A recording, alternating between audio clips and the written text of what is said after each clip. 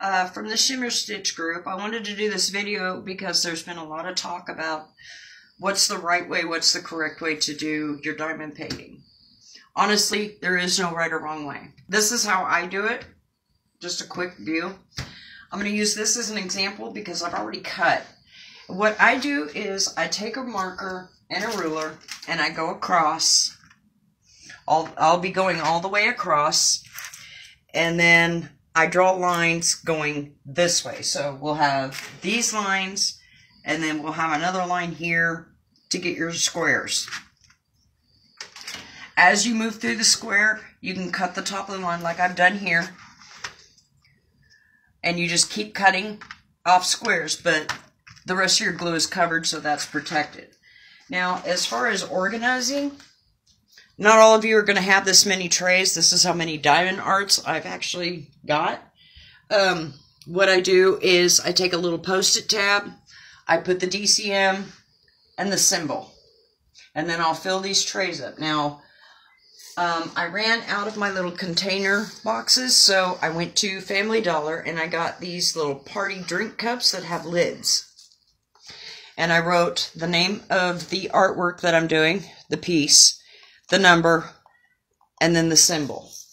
And it makes it real easy to refill, especially if you don't have enough trays for every symbol on the legend. Okay, so to show you a little bit more, I've already cut these going this way. I did not cut going across. And that is simply because when I'm ready, I will fold these back, put a nice little crease in there. And then as I work, when I get to the end, I can snip it off here. Like if you're working in the middle or, or the bottom row, you can cut that as you move, and it's going to leave these little tabs. I leave a little bit of space to grab it, but you're cut all the way up, so all you have to do is cut across as you finish. And this way, the glue on your diamond art painting is protected the whole time you're doing it. Some people will tell you to pull down from the top. I don't like that.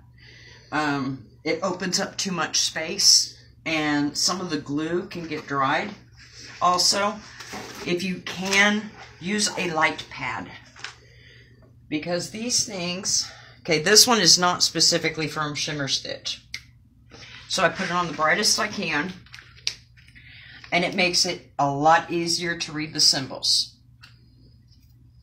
And that that's basically how I do mine. I hope this helped you and thank you.